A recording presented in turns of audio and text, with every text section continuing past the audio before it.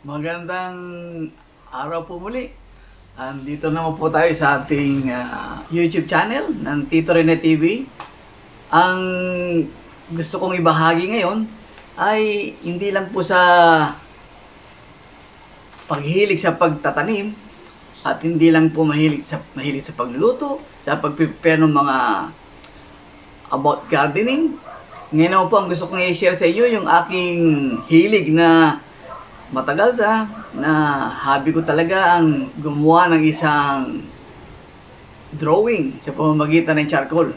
At ang gusto kong i-share sa inyo ngayon ay gusto kong ipakita sa inyo yung aking talent sa pagdodrawing. Ang aking iguguhit po ngayon ay ang isang paborito kong buksingerong Pilipino.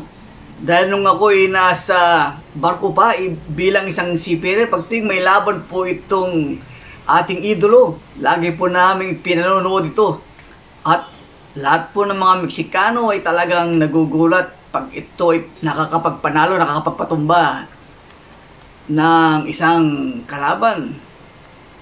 Kaya ang gusto kong i-share sa inyo, ang aking guguhit ngayon ng ating idolo, ang ating pambansang kamao. Walang iba kundi si Manny Pacquiao. Siya ay gusto kong magkaroon ng isang magandang alaala para sa kanya dahil sa siya ay aking idolo, lahat ng kanyang laban ay talagang sinusubaybayan ko basta may laban siya kahit noon pa man.